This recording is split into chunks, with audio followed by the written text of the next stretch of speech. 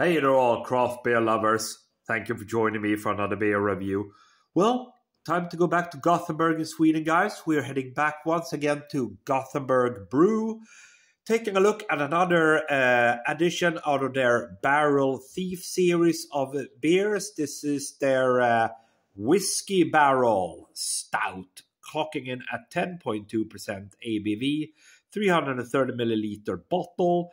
They say, what do you get when you brew a cold mashed oat stout and let it rest on two separate types of barrels for 13 months? You get this, our second release from our barrel aging program. Enjoy. There you go, guys. There's the artwork. That's the barrel thief right there. Uh, plain old bottle cap, black. With that said, guys, let's pop the top, see what we are going to get. Good little smoke on the bottle opening. Let's give it a good old gentle pour. Seems to be quite carbonated. Okay. Right. So what do we have? There we go. Yeah. Looks pretty carbonated. There we go. A Couple of more drops in. Right. Yeah, man, that looks pretty good. Four fingers worth of head, uh, beige colored, uh, good of carbonation, jet black beer in the glass. Yeah, man. Good deal of uh, carbonation, nice presentation on the nose.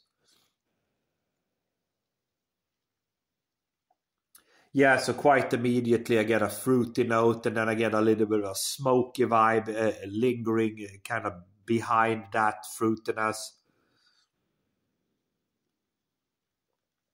Smoked fruits.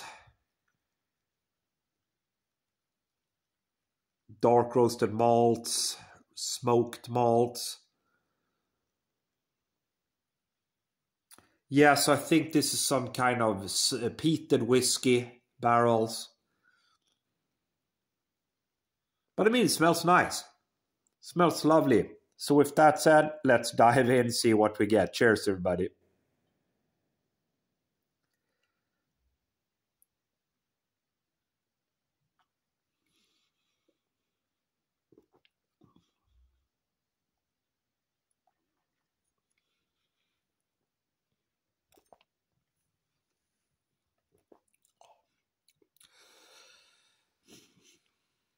Okay. So it's certainly very woody, very smoky, quite thin body. What I get up front before, just before I got that uh, kind of, you know, uh, big notes of smoke uh, and wood there, I get black currants. Get black currants on the taste. Then comes those smoky notes, heavy smoky notes yeah, lingering and lingering, uh, woody, dry. It's very dry. Again.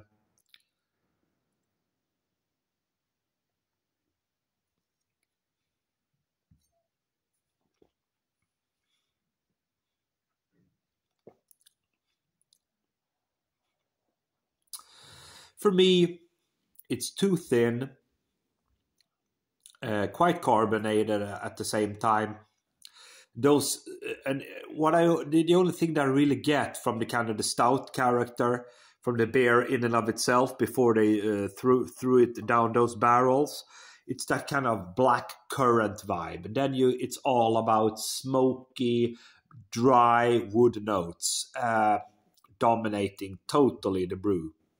Uh, yeah, man, what can I say? So uh, let's go for the final sip here, guys, and see what we're going to get then.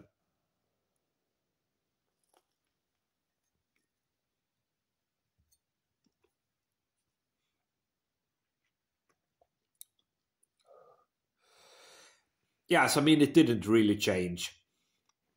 Uh, initial black currants, then it's all about some very, very heavy smoky notes, uh, sm uh, smoked wood, woody barrel, uh, very very dry.